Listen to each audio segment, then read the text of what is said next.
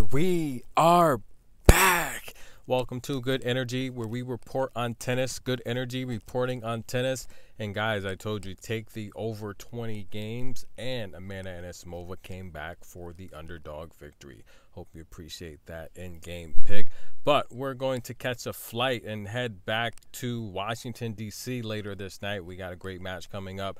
But Daria Kasatkina I told you guys yesterday to take her in a blowout win over Taylor Townsend. I said that was the lock of the day. Sure enough, she delivered.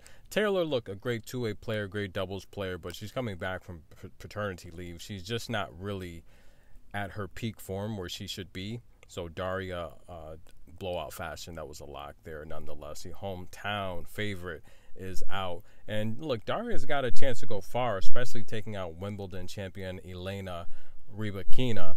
Uh, Daria looks very, really, really good. Uh, look, she's a good two-way player. The, these courts here, they're playing fast in Silicon Valley, and it's going to favor players like Daria. Uh, stay tuned, guys. Uh, Coco Gauff versus Naomi Osaka. That's a match where initially on the surface level, I, I think Coco can give Naomi a run for her money and possibly beat her. Coco's the favorite, but getting Naomi Osaka as an underdog, that rarely happens. And Naomi has the power to isolate anything Coco throws at her as well. So I'm going to break that down because that one's a little challenging. But as we catch a flight here, go back to Washington, D.C., Simona Halep upset by Kalinskaya. That's a good look. Kalinskaya, she's looking very fit and active. If you watched my video yesterday, she looks very good. She came to play tennis, ladies and gentlemen. Jessica Pegula upset by Daria Saville, another upset.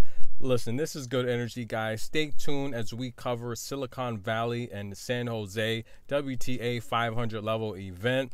And we will also head back to Washington, D.C., where we have tennis on the East Coast. All roads lead to New York City. Good energy reporting.